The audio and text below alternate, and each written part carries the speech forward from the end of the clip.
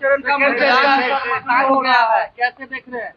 एकदम लोकतंत्र का महापर्व है और इस लोकतंत्र में संविधान को जिस तरह नरेंद्र मोदी की सरकार ने 10 साल से बचा के रखा है और आगे भी बचा के रखेगा और अधिक से अधिक लोग निकलकर वोट करें और देश को श्रेष्ठ बनाने में सहयोग प्रधानमंत्री के आगमन पर 10 सवाल तेजस्वी यादव ने फिर से पूछा है। देखिए स्वाभाविक है कोई काम है नहीं ट्विटर पर ही काम है।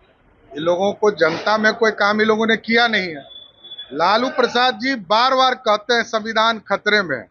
ये जानना तो चाहते हैं कि 10 साल से मोदी सरकार है।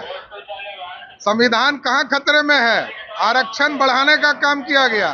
आरक्षण लोगों को देने का काम और आरक्षण विरोधी कोई है तो वो लालू प्रसाद का परिवार है।